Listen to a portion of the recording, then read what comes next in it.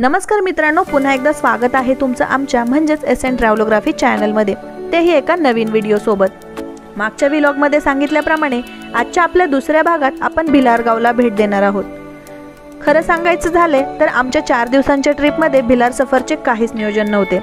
परंतु वाईपासून पाचगणीकडे प्रवास करत असताना रस्त्याच्या कडेला जागोजागी भिलार पुस्तकांचे गाव लिहिलेले दिशादर्शक फलक पाहिले. पाचगणीपासून अगदी आठ किलोमीटर अंतरावर बसलेले भिलार गाव भिलार पुस्तकांचे गाव वाचून फार कुतूहल वाटले. नक्की काय असेल या मागची संकल्पना ते कळत नव्हते. म्हणून भिलार गावाला प्रत्यक्ष भेट द्यायची इच्छा झाली व आपोआपच पावले भिलार गावच्या दिशेने पडू लागली. चला तर मग आमच्या या व्हिडिओ सोबत भिलार गावची सफर करूयात. पाचगणी महाबळेश्वर पासून जवळच असलेले भिलार हे निसर्गरम्य आणि स्ट्रॉबेरीचा गोडवा असलेले गाव. अवघ्या दोन किलोमीटर विस्तार असलेल्या या छोट्याशा पण टुमदार गावाने भारतातील पहिले पुस्तकांचे गाव होण्याचा मान पटकवला आहे. मित्रांनो ही संकल्पना कशी उदयास आली हे पाहूयात. आम्ही प्रकल्प कार्यालयात गेलो तेव्हा तिथल्या बालाजी हळदे यांनी गावाबद्दल व पुस्तकांचे गाव याबद्दल सविस्तर माहिती दिली. आम्हाला व आमच्यासारखेच उत्सुक असणाऱ्या पर्यटकांना एक डॉक्युमेंटरी फिल्म दाखवली. महाराष्ट्र राज्याचे मराठी भाषा व सांस्कृतिक मंत्री माननीय श्री विनोद तावडे यांनी दिनांक सत्तावीस फेब्रुवारी दोन हजार पंधरा रोजी एका समारंभात बोलताना इंग्लंडमधील हे ऑनवे या पुस्तकांच्या गावाचा संदर्भ देऊन महाराष्ट्रातही असे पुस्तकांचे गाव नक्की आकाराला येऊ शकते असा विचार मांडला. या नव्या अनोख्या कल्पक व उत्साहवर्धक विचारांचे प्रसार माध्यमे साहित्यिक व सामान्य जनतेनेही स्वागत केले. विविध समारंभ संमेलनातून विचार मांडले. खुद्द माननीय मंत्री महोदयांनी प्रकाशक साहित्यिक व विचारवंतांशी याबद्दल चर्चा केली. आणि या साऱ्यातून एक मे दोन हजार सतरा रोजी भिलार पुस्तकांचे गाव म्हणून रुजू झाले.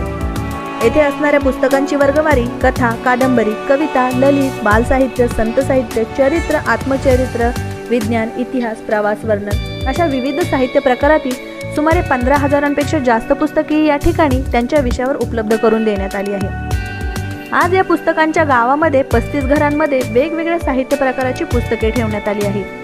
वाचन चळवळ वाढावी येणाऱ्या पर्यटकांना मराठी भाषेची समृद्धी कळावी म्हणून मराठी भाषेतील नवे जुने लेखन संत साहित्य कथा कादंबरी कविता ललित चरित्र आत्मचरित्र स्त्री साहित्य क्रीडा बाल साहित्य आणि इतिहास यांच्या प्रत्येक घरात वेगवेगळ्या साहित्य प्रकाराची दालन उभी केली आहे. निवडलेल्या पस्तीस घरांवर विविध प्रकाराची चित्रे रेखाटण्यात आली आहेत. चित्रांच्या संगतीनुसार त्या घरात वाचकाला साहित्य उपलब्ध होते. ज्या घरांच्या भिंतीवर निसर्गचित्र काढण्यात आली आहे त्या घरात निसर्गचित्रण अथवा प्रवास वर्णनपर साहित्य ठेवण्यात आले आहे.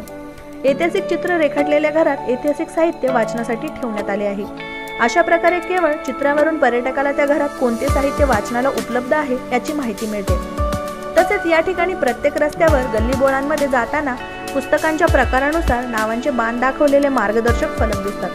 तसेच येणाऱ्या वाचका वाचकांसाठी प्रकल्प नकाशा देखील उपलब्ध करून दिला आहे? त्या नकाशावरून कोणत्या घरात कोणत्या प्रकाराची पुस्तके आहे शोधणे सोपे होते. मित्रांनो पुस्तक वाचनासाठी एक दोन दिवस हा फारच तोकडा वेळ आहे. आपली ट्रिपच चार दिवसांची होती म्हणून एकाच ठिकाणी फार वेळ न घालवता आम्ही काही विभागांना भेट दिली. ऐतिहासिक विभाग ज्यांच्या घरात आहे त्या बाबांनी आमचे मानापासून स्वागत केले. त्यांनी आमच्याशी बऱ्याच गप्पा मारल्या. या उपक्रमात सहभाग घेतलेल्या भिलारच्या ग्रामस्थांचे खरंच कौतुक करावं तेवढं कमी आहे. कारण त्यांनी स्वतःच्या राहत्या घरातील काही भाग निसंकोचपणे वापरायला दिलाय अतिशय नीटनेटकेपणाने ठेवलेली पुस्तके व तेथे बसून वाचनाची उत्तम सोय वाचनासाठी आवश्यक वातावरण घरातील व्यक्तींचे प्रसन्न अगत्यपूर्व सहकार्य या गोष्टी अनुभवून मन प्रसन्न झाले. मित्रांनो आम्ही आमच्या आवडीनुसार पुस्तकांच्या कपाटातून रॅक्सवरून पुस्तके हाताळली.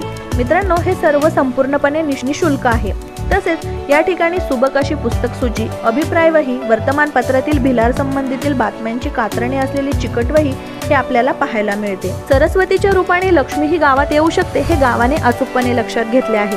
म्हणजेच निवडलेल्या ठिकाणी स्वतंत्र बुकशेल्फची आणि बसण्याची व्यवस्था तर आहेच पण काही ठिकाणी माफक दरात छान राहण्याची व गरमागरम चहा भजीची सोय आहे. म्हणजेच वाचक पर्यटकांना पुस्तके तर उपलब्ध करून दिली आहे व त्याबरोबर भिलारवासियांसाठी उत्पन्नाचा स्रोत पण तयार झाला आहे.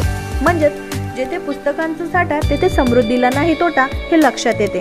आम्हा घरी धन शब्दांचीच रत्ने शब्दांचीच वस्त्रे यत्ने करू शब्दची आमच्या जीवांचे जीवन शब्दे वाटू धन जन लोका हे तुकाराम महाराजांचे वचन सार्थ करण्यासाठी सिद्ध झालेले व महाराष्ट्र शासनाने पुस्तकांचे गाव म्हणून ओळख करून दिलेले हे भिलारगाव. आता भिलारगावची ओळख खूप गडद झाली असून हजारो पर्यटक या गावाकडे आकर्षित होत आहे. म्हणून मित्रांनो जेव्हा कधी महाबळेश्वरला याल तेव्हा भिलार या गावाला नक्की भेट द्या. कारण भिलार गावी येणाऱ्यांना स्ट्रॉबेरीची चव व वाचनाची भूक भागवण्याची नामी संधी मिळत आहे. मित्रांनो भिलार पुस्तकांच्या गावाची सफर कशी वाटली हे तुमच्या कमेंटद्वारे आमच्यापर्यंत नक्की पोहोचवा.